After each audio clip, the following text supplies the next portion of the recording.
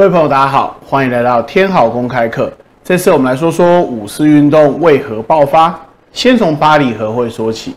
一九一八年十二月十三日，当时的美国总统伍德罗·威尔逊带着庞大代表团乘坐华盛顿号抵达法国西北的布雷斯特海军基地，迎接他的欢迎仪式规模空前。法国政府包下巴黎最奢华的饭店，提供美国代表团无限期使用。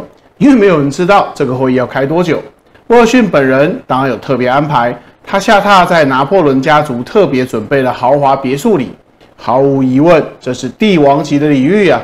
法国人之所以给出如此高规格的接待，是因为美国当时实在太重要了。过去一年里，美国派出了两百万装备精良的士兵参战，最终十一万六千多名美军为协约国牺牲。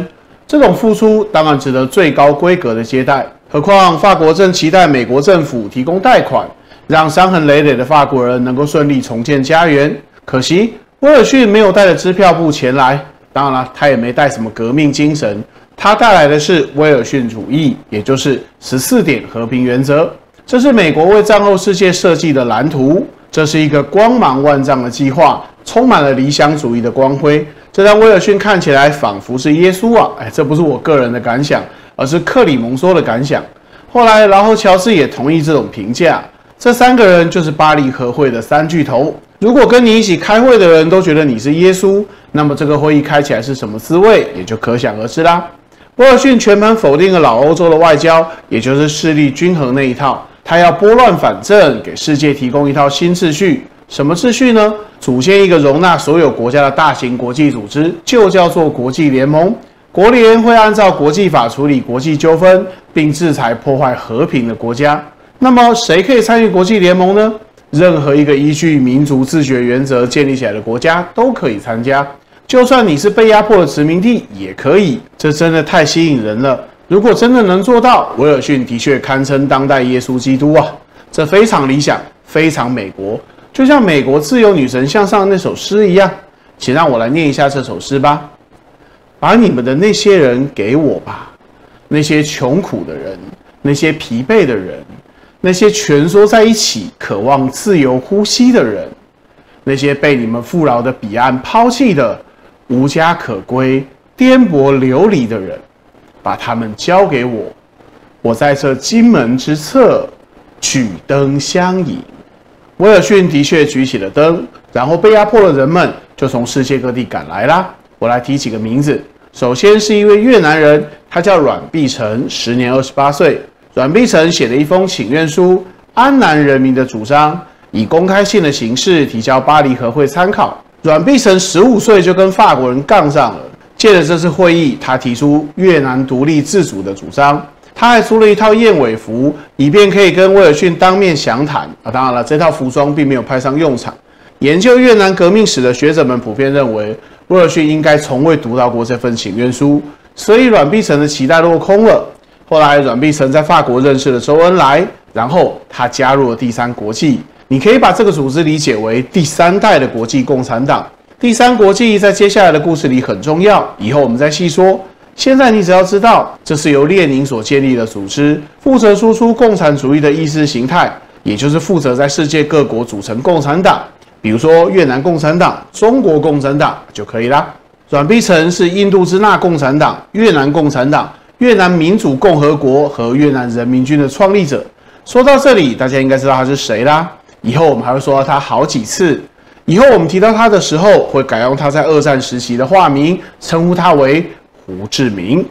胡志明的行动并非特例啊，当时世界各地受殖民、被压迫的弱小民族，比如阿拉伯人。犹太人、亚美尼亚人、库德人、印度人、朝鲜人啊，当然还有中国人，无不对威尔逊和巴黎和会寄予厚望。可是他们很快就失望了，并不是威尔逊的理想有什么问题呀，相反的，这个理想至今都值得推崇。有问题的是巴黎和会啊，由于威尔逊主义的光芒太耀眼了，大家可能忘了，这个和会并不是弱小民族的诉苦大会，而是战胜国的分赃大会。英法意日等战胜国在大战中早就安排好了战后利益安排，在这些国家看来，威尔逊的主张很多都是抽象的原则，在学术讨论会上聊起来可能很有意思，但是在现实的国际外交场上根本没有可行性啊。那么什么主张才有可行性呢？让我们来看看巴黎和会到底是怎么开的。根据现在保存的会议记录显示，正式列席和会的一共有二十七个国家，正式会议成员超过六千人，光英国代表团就来了近四百人。这么多人，语言还五花八门，根本不可能共同讨论什么议题。所以巴黎和会设置了正式和非正式两种会议形态。正式会议由五十二个专门委员会负责，也就是说将讨论五十二种专门议题。专门委员会的成员都是各国精英，包括职业外交官和国际法专家。他们每周召开一两次会议，商讨要写进条约的条款。像这样的分组会议，五十二个委员会加起来总共开了一千六百四十六次。我们现在看到的条约文本，都是这些专门委员会努力的成果。但是这些都只是枝节问题，真正的原则性问题是由非正式会议来讨论的。所谓非正式会议，就是大国领袖的私人讨论。这些大国领袖以三巨头为首，平常住在不同的饭店里，每周会有几天召开闭门会议。会议进行时，为了保密，通常只有一位精通英法语的翻译在场，其他人全被排除在外。像这样的闭门会议，在整个巴黎和会期间，一共进行了一百四十五次。真正决定战后世界新规则与利益分配的，其实是这些闭门会议，而不是电影当中演出的那种慷慨陈词的公开辩论啊。而这些细节，以战胜国身份远渡重洋来巴黎参加会议的中华民国代表团根本毫不知情啊！当然，代表团并非没有准备，早在大战初期，袁世凯时代的中国政府就已经在研究这场战争啦。根据现存的档案显示，一九一四年十月十三日，哎，这个日期很有意思。看过上一集的朋友应该有印象，这时大战才刚刚开打，日本还在包围胶州湾的德军要塞啊。这一天，中华民国外交总长陆征祥就被袁世凯正式指派研究参与战后会议的相关问题。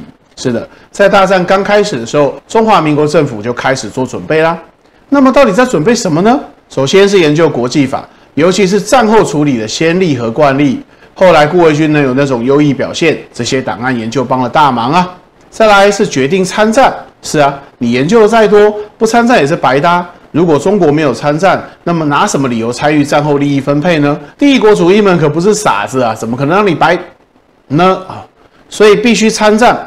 不过，虽然以国家整体利益来看，参战显然是利大于弊，但是就跟现在一样，党派斗争的口水战可以淹没一切理性讨论。袁世凯死后接班的是段祺瑞，前面说过了，段祺瑞拿了日本人的贷款啊，他很想参战。但是总统黎元洪不同意，还有前总统孙中山也不同意。段祺瑞想参战的理由就是我刚刚说的利大于弊。那反对派的理由是什么？没什么理由，或者说只要敌人赞成的，我们就要反对，这就是最大的理由。政治斗争嘛，总之就是搞得一地鸡毛，鸡同鸭讲。本来段祺瑞大权在握，国会都被他拿捏了，他要参战还真没有人挡得住。可是段祺瑞拿日本人贷款的事情被有些人捅到媒体上，全部曝光了，一时之间举国议论，舆论哗然啊！姓段的，我说你怎么这么强硬要参战？原来是收了钱啊！段祺瑞百口莫辩啊！啊，其实也没什么好辩的，段祺瑞本来就想参战，日本人带了钱找上门来，那还不一拍即合？不过舆论狂飙之下，此案也只能暂缓。一九一七年五月二十三日。总统黎元洪正式罢免段祺瑞，内阁倒台。同年的六月八日，孙中山写公开信给美国总统威尔逊，陈述反对参战的种种理由。孙先生登高一呼，舆论自然呼应。一时之间，反对参战派占了绝对上风。总之，参战案看起来就要胎死腹中啦。如果照这个状况发展下去，巴黎和会就跟中国没啥关系了，那可能也不会有什么五四运动了。然后，意外发生了。一九一七年七月一日，张勋复辟。虽然这场闹剧十二天就结束了，但是造成的蝴蝶效应非常惊人呐！这场流产的政变让黎元洪下台了，然后段祺瑞奉还朝。段祺瑞重掌国务院后第一件事，哎，就是重新提出参战议案。这一次没人可以阻止他了。八月十四日，中华民国正式对德奥宣战。九月二十二日，孙中山的那个广州国会非常会议承认对德宣战案。为什么？想想孙中山跟日本人的关系，你就明白啦。不过，还记得我说过的，民国初年的政治人物都有很多张面孔吗？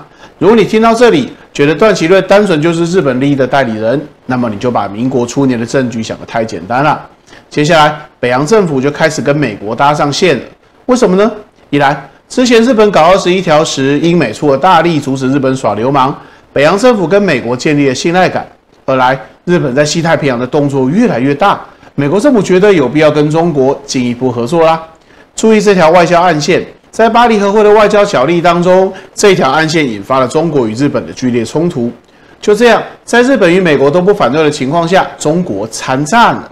参与一场大规模战争造成的影响是多方面的。并非单纯只是外交军事层面的变化，在产业结构上，在社会组织上都带来影响。我举几个数据让大家参考：一九一八年到一九年之间，九十六家新银行设立，清一色都是本土资金。纺织、面粉、丝绸、火柴、水泥、烟草等轻工业，一九一四年到二零年之间，也以每年百分之十五的速度持续成长。这些成长的效益是什么？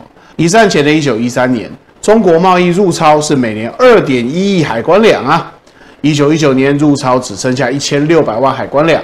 这些变化目前的研究成果还停留在概述阶段，但是单单是数据本身就能看出产业出现变革了。只是除了这些比较容易观察到的效应之外，改变更大的，我觉得是人参加一战造成了人群的大规模移动。一战期间，协约国雇佣华工十四到十五万人，十万人隶属于英军中国劳工旅。另四万人则归法军指挥，另外还有数百名学生赴欧作为翻译。这些华工有近三万人是受过教育的，他们在欧洲生活期间，学会了欧洲正在蓬勃发展的社会主义思想，然后就开始组织工会，争取自身权益，并成立储蓄会、读书会、自治会等工人组织。这些工人回国之后，带回了劳工运动的经验。在一战爆发之前，中国各地的劳工抗争多半缺乏组织，也没有什么统一的思想。虽然数量不少，但始终没有形成风潮。等这些工人回国之后，新型工会就诞生啦。几年之后，上海就开始出现大规模的工人运动。五四运动期间，工人罢工支持学生，就源自这些工会的组织与提倡。来说说这些工会的组织者，先从勤工俭学说起。勤工俭学全称为留法勤工俭学运动，这是民国元年开始的一种留学计划，发起者有李时珍、吴志辉、汪精卫等人。还有民国教育总长蔡元培大力支持啊！这项勤工俭学运动创造了旅法共产主义小组，培养了中共早期领导人，包括周恩来、邓小平、陈毅等人。那么这项留学运动与参与一战有关吗？有关啊！一九一四年一战爆发后，留法俭学会被袁世凯取消，让这项运动起死回生的就是中国参与一战。一九一七年中国参战之后，留法俭学会重新开办。一九一九到二零年之间，大约有两千人赴法留学。除了知名度很高的周恩来、邓小平、陈毅之外，还有蔡和森、向景玉、李立三、李富春等人。这位蔡和森是毛泽东的同学，他是提出中国共产党名称的第一人呐。从这些事迹你就知道参战的意义有多大了。没有这些前往法国学习社会主义的人，后来历史发展肯定大不相同。当然，众所周知，影响最大的、最重要的那个人，并没有前往法国。这似乎也是命运的安排啊！不过这是后来的事情了。先来说说中国代表团参与巴黎和会的经过。一次大战结束后，中国就成了战胜国。中国内部各派政治势力纷纷表示举国同庆啊！包括当初那个激烈反对参战的南方革命政府，他们表示：哎，我们也要派代表参加巴黎和会。呃，好吧，此时正要展现一次团结对外，所以就让护法军政府外交次长。王振廷加入代表团，算是代表南方立场吧。王振廷是蒋介石的同乡前辈，是清末就参与同盟会的老革命啊，也是耶鲁大学毕业的国际法专家，算是南方版的顾维钧吧。后来王振廷极力反对签约，影响极大。那么这个代表团的任务是什么呢？啊，当时的民间舆论非常激昂，既然中国已经是战胜国了，那就必须把清末以来所失去的领土全部要回来。千万不能错过这个千载难逢的时机，否则政府就是失职。呃，这显然有点太天真了。那么北洋政府或者说段祺瑞的目标是什么呢？段祺瑞比较实际啊。段祺瑞定下的目标是废除新手合约，啊，具体来说是要取消庚子赔款，至少要取消对俄罗斯与德奥的赔款。要知道，庚子赔款本息高达九亿八千一百二十三万八千一百五十两啊，其中俄国占二点八四亿两，其次德国占一点九六亿两。奥匈只拿零头，也有个零点八九趴，这三国加起来就占了半数了。只要能取消，那可是财政大补丸呐。而这项主张并不影响日美在华利益，所以日本与美国政府都表示可以支持。既然谈妥了，那就出发吧。一九一八年十二月一日，外交总长陆征祥带领中国代表团从北京出发。不过，前往巴黎的这趟旅程途中出了大事啊！十二月二日，代表团抵达沈阳，当晚，日本驻沈阳领事馆设宴款待，双方相谈甚欢。诶，为什么去巴黎要先从北京到沈阳呢？因为代表团打算从日本搭船去美国，然后从美国东岸搭船前往巴黎，这很合理呀。这是当时最安全的路线，而且途中可以依序拜访日本与美国政府，确认一下彼此的合作计划。这个旅程规划感觉非常完善，各国都表示很可以接受。可是突然就变卦了，变卦是陆征祥。前几天在沈阳还相谈甚欢的，等到了汉城之后，陆征祥突然就生病了。然后代表团就宣布取消在日本的参访行程，准备从日本的马关直接换大船前往美国。这下子日本政府就起了疑心。要知道，原本段祺瑞与日本方面是很友好的，所以这个代表团的行程包括了觐见日本天皇、拜谒明治神宫、与日本首相会谈，是个非常官方、非常友好的外交访问安排。但是谈得好好的，突然就变卦了，这让日本政府大为疑惧啊。后来经过斡旋。陆征祥还是到了东京与日本外相短暂会谈，然后就没有然后了。中国代表团直接前往美国，为什么？虽然没有官方说法，但日本学界普遍推测，美国人在里面做了手脚，这是中日关系生变的一个预兆。为什么这么推测呢？因为陆征祥在美国的行程是这样子的：从西雅图上岸，搭乘美国政府专车直奔纽约。在纽约公开会见多位华府官员与国会议员，双方还开记者会宣布外交共识，然后搭乘美国政府的大船前往巴黎，这些都有公开记录啊！你说日本人看到之后会怎么想呢？总之，一九一九年一月十一日，中国代表团抵达巴黎，这个代表团人才汇聚，除了团长陆征祥以及我们之前介绍过的王振廷之外，扮演重要角色的还有两位，其一就是鼎鼎大名的顾维钧。顾维钧是民国初年最重要的外交专家，哥伦比亚大学法学博士。袁世凯上任后，他是英文秘书，负责对美国的外交档案工作。后来也成为对美的外交操盘手，也是中国代表团在巴黎和会上的主角。克里蒙说回忆录说他是对日本有如灵猫细数，尽显情重之巧计呀，史称民国第一外交官。其二是施肇基，辞任驻英公使，此人辈分较高，在清末就当官了。曾经是湖广总督张之洞的幕僚。一九零五年，武大臣出国考察宪政时，他就是随行代表，外交资历完整。他最有名的成就是清末处理伊藤博文遇刺案时展现的惊人外交手腕。所谓的伊藤博文遇刺案，是日本前首相在哈尔滨火车站被朝鲜自式击杀的重大政治谋杀案。在那个帝国主义猖獗的时代，这种案件如果处理的不好，后果不堪设想。但是施肇基应变灵活，让清政府免于被日本迁怒，消弭战火于无形，堪称国事啊！听过这些人的事迹之后，你就知道这个中国代表团的分量了，算是南北合作，精锐进出啦。然后他们就见识到帝国主义的嘴脸了。本集一开始的时候，我们就说到巴黎和会是个非常庞大的会议，几千人分成五十二个专门委员会，有记录的正式会议就开了一千六百多次。那么中国代表团参与几次呢？所有与会代表都要参加的大会参加过六次。不过这种大会谈不了具体问题。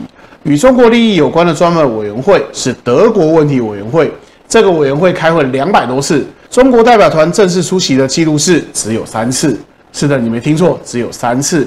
第一次是去当听众，听日本代表牧野生显的演讲。牧野深显大谈日军的贡献，什么铲除德国在太平洋的海陆军基地呀，什么维护各国在远东交通与商业自由啊，然后说德国在山东的一切权利应无条件让与日本。中国代表的回答是事关重大，商议后再付，然后就散会啦。第二次会议由顾维钧发言，重点是一感谢日本铲除德国在华势力；二中国已对德宣战，中德一切条约都失效；三。日军驱除德军算是军事占领，依国际法不能取得所有权。委员会的反应是置之不复，然后又散会了。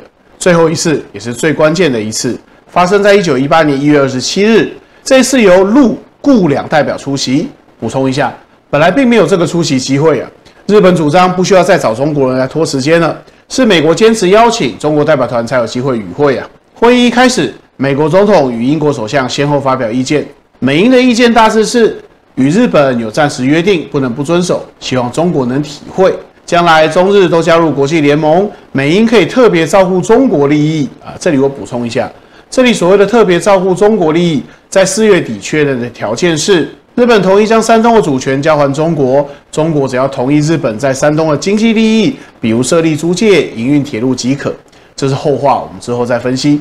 然后中午休息吃饭，下午继续开会时，日本提出五国秘密谅解协议，说战争时期英法意俄与日本已经达成协议，同意山东权利让给日本啦。这个秘密谅解我们上一集说过了，不过这是第一次公开发布啊，这让中国跟美国代表大吃一惊，于是要求隔天再回复。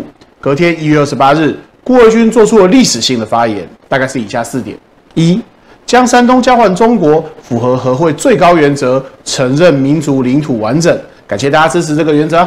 那个民事条约我们的确欣然同意，但是国际法上有个武力胁迫原则，意思是武力胁迫下签的约可以无效。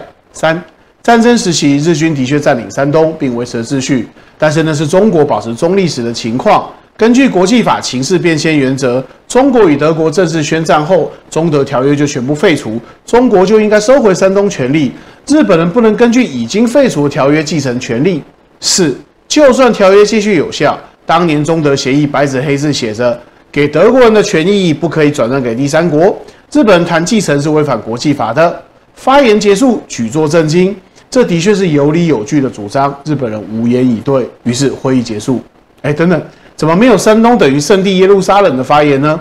呃，根据现存的会议记录，没有这些发言。如果想听这段，可能要去电影里面找啊。会议结束之后，列强分成两派，美国坚定支持中国立场，英法代表则主张根据密约行事。意大利代表不久之后退出和会，所以没他们什么事。至于俄罗斯，这次忙着打内战，根本没来。一月二十九日，也就是隔天，消息传回日本，日本举国震惊啊！中国人怎么反水了？这贷款也给啦，条件也谈好啦，怎么突然就变卦了？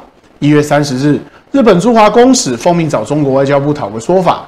不过这一天是小年夜，中国外交部只剩看门的，一直拖到二月二日大年初二，日本才找到中国外交部次长，表达了日本政府最强烈的遗憾。此后，中日两国在这个问题上就杠上啦。这里我们长话短说吧。接下来几个月，日本态度越来越强硬。到了四月份，日本开始强调，除非贯彻对中国之义务，否则日本将拒签合约，并且将拒绝加入国联。这时的情况跟一月底已经大不相同啦，因为中国唯一能依靠的美国外交立场越来越艰困。威尔逊的耶稣光环早已消退，他高举的民族自决原则则被英法各种安排证明只是空想。现在，威尔逊只能期待国际联盟了。这是他唯一可以留给后世的政治遗产。如果连国际联盟都失败，那么他将成为外交史上永恒的笑柄啊！所以只能牺牲中国利益了。四月三十日，三巨头达成共识，德国的山东权利交予日本，然后日本根据英国建议做出半官方口头声明。这些声明就是前面说过的特别照顾中国利益的规定，比如日本保证将胶州湾主权交还中国，只继承德国的经济特权。占领交济铁路日军将及早撤退，当地的警队将由华人担当等等。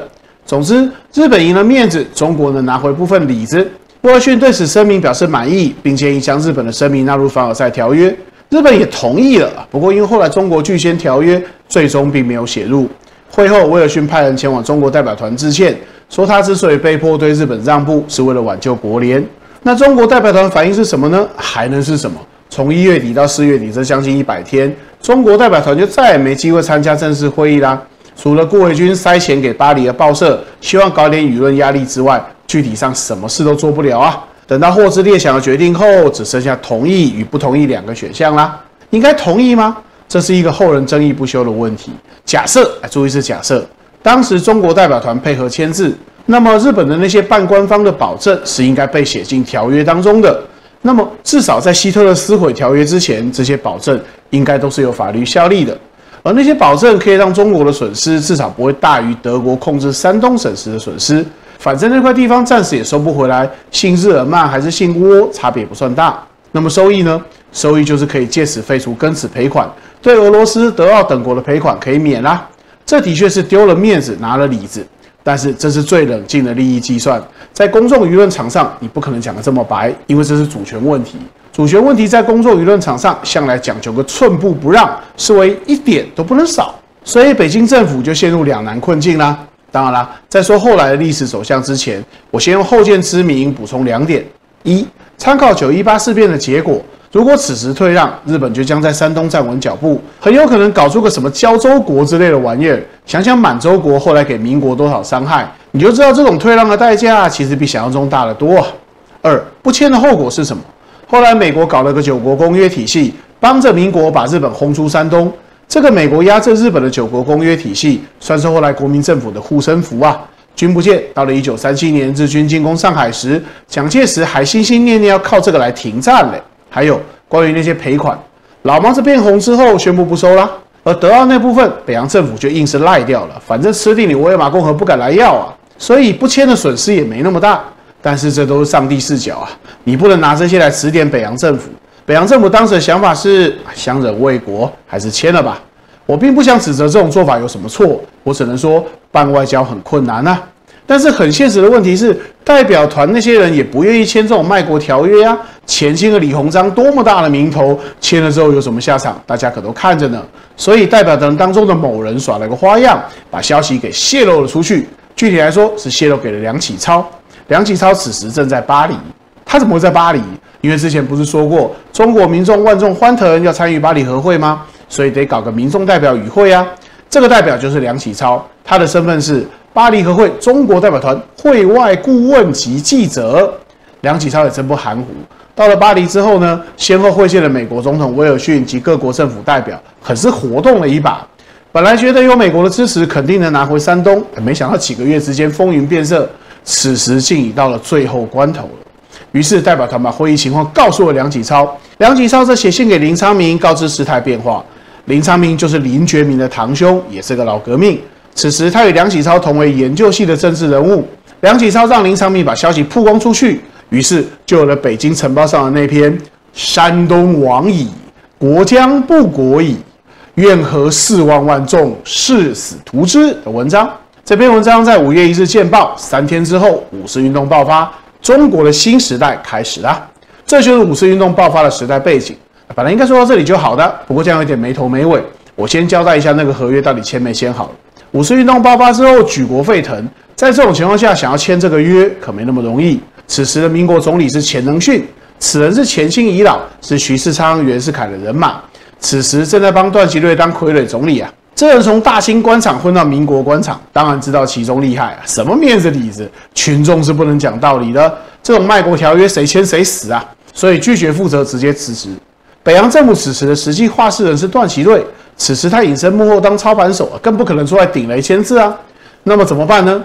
钱仁勋一边写辞呈，一边给国会写了一份咨文，说这种大事要请国会决定。国会那些人三教九流都有。个个都是人精，怎么可能淌这种浑水？所以一口回绝，说按国际惯例，都是政府先签约，然后拿到国会来批准。如果真的要签字，就请政府拿出担当签了，然后再送过来，我们再讨论。好家伙，这个皮球踢得好啊！那现在该怎么办呢？总统是徐世昌，要不请总统裁决？开玩笑，徐世昌外号是水晶狐狸，他能出来顶这个雷？徐世昌看到政府送来咨文，直接就辞职了。嗯，辞职了，把球又踢给国会。国会收到总统辞职的通知之后，表示：“哎，你不能走，硬是把徐世昌给留了下来。但是很技巧的放走了钱能训，接着换上了一个代理总理，谁呢？财政总长龚新赞。龚新赞表示：哎，我只能代理十天啊，你们赶紧找人，十天一到我就走人。哎，为什么是十天？因为此时是六月十二日，签约最后期限是六月二十八日。龚新赞想沾一下国务总理这个一品大员的酱油，毕竟前清遗老都有这种官瘾啊。他想。”我六月二十二就走人啊，签不签约我才不决定呢。但是他太天真了，一旦开始代理，那走不走就不是你说了算啦。到了六月二十六日，也没找到人来接班，所以签还是不签这个问题，必须由攻心站的政府来决定。攻心站一咬牙一闭眼一横心一跺脚，下令签字。为什么？前面说过了，这是失了面子赢了里子的做法。以当时已知的条件来说，签字是比较有利的。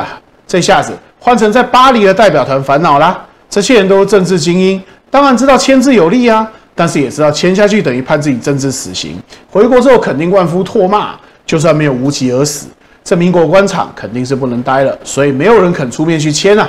而且这龚清赞也很不地道啊，搞了一个疑惑江东的花样。事情是这样子的，龚清赞在六月二十三号上午发电报指示签字，然后在六月二十六日接见各地行政团时表示，哎不签，然后还真的发出修改前令的电报。不过这里面有个花样，当时北京打到巴黎的电报要经过美国电报局，至少得三天，所以六月二十三日电报会在六月二十六日收到，刚好让代表团签字。然后这个后令应该会在六月二十九日收到。问题是那是已经过了签约日期啦，木已成舟，那就不是攻心战的责任啊。而是技术问题，后悔莫及。那谁叫你们没发明网络，害我来不及修改呢？确实很狡猾。不过代表团也不是省油的灯，早就知道国内情势逆转，这个约是不能签了。只是得找个不可抗力的借口。刚好六月二十八日签约日当天，中国留学生及华工群情激愤，包围了中国代表团住处，警告中国代表诸军：如敢出门，当扑杀之。哎，那就不出门喽，正好就坡下驴。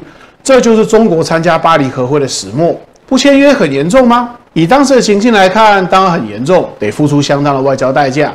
不过跟五四运动带起来的影响相比啊，那就不值一提啦。当然了，那是下一次的故事。以上就是本节节目，感谢您的收看，希望您会喜欢。更感谢会员朋友们的支持鼓励，有了大家的相挺，我才能继续做下去。相关课程简章在资讯区，我们下次见，拜拜。